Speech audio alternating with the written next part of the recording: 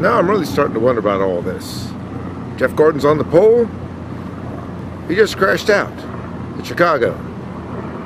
Denny Hamlin said he was going to win Sunday's New Hampshire 300 and Clinton tire pressures were wrong. In qualifying, he starts 32nd, and I'm thinking tire pressures are wrong. These guys go down to the quarter pound on tire pressures. They don't make mistakes on tire pressures. Not as big a mistake as Denny Hamlin says his crew made. Ran out of gas last weekend at Chicago too, and that's why he's vowing to win this race. It's getting a little strange.